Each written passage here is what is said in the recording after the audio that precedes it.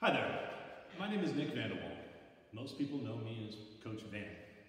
I have been fortunate to have been a part of St. Petersburg Catholic's family since 1997. I've had two daughters that attended St. Pete Catholic, the most recent about to graduate in 2020. It has been such an incredible experience for me as a parent, me as a faculty member, to be able to see the impact that St. Petersburg Catholic has had on their lives, the skills and relationships developed that they're going to take with them for the rest of their lives.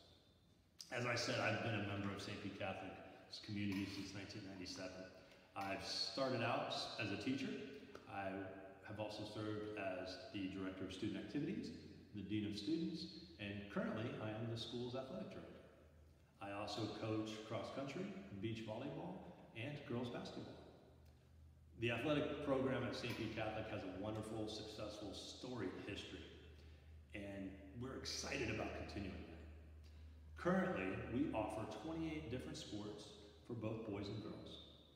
We're a member of the Florida High School Athletic Association, and we compete in the FHSAA State Series. Our sports seasons are divided into three different seasons, beginning in the fall, winter, and then spring. We have about 45% of our student athletes that participate in more than one sport in more than one season.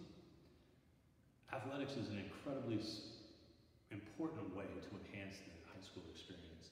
And we're looking forward to continuing all the success, all of the spirit with all of our future members.